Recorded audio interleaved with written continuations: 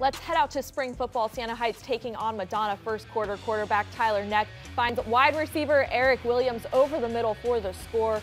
The Saints with a 16-0 lead.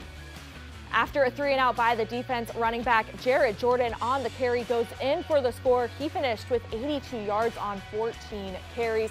And then the Saints go back to the air.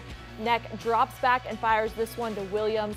And from there, it's a foot race. Williams, he finishes with five catches for 116 yards and three touchdowns. Siena Heights showed no signs of slowing down.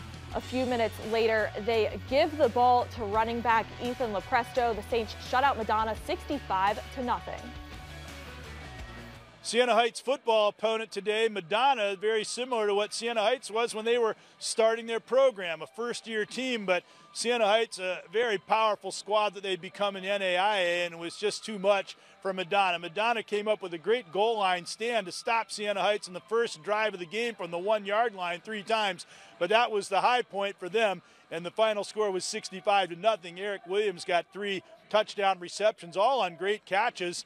And Hayden Lehman from Fremont Ross, we remember from his track days with the Little Giants, came on as a backup quarterback. He ran for a touchdown, threw for a touchdown, and had two more touchdown passes canceled by penalties and another great pass too. It was just a penalty filled game, but basically Siena Heights ran away from Madonna, winning it 65 to nothing.